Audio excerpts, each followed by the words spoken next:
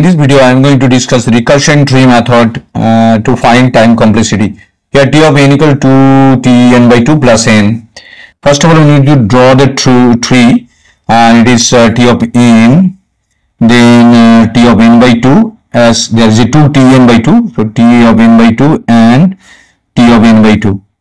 Then when we put the t of n by 2 we get t of n by 4 and t of n by 4 putting the value of n by 2 n by 2 by 2 mean n by 4 then it is again n by 4 and t of n n by 4 and so on.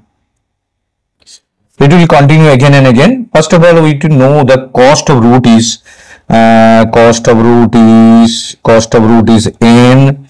Here uh, the cost of each node in the second level this is level 0 and this is level 1 and this is level 1 this is level 2 and so on.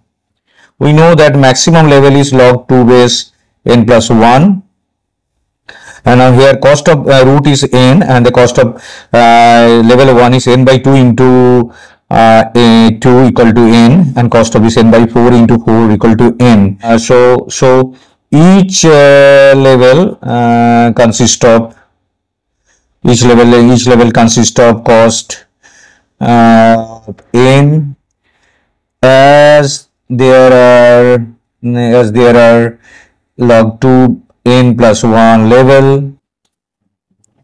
then p of n that is total cost we need to find the total cost.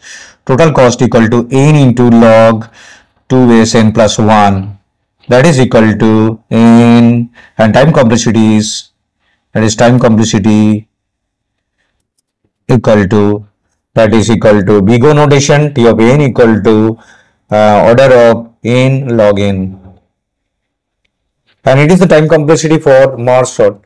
So thank you very much for watching this video, share and subscribe it. Thank you.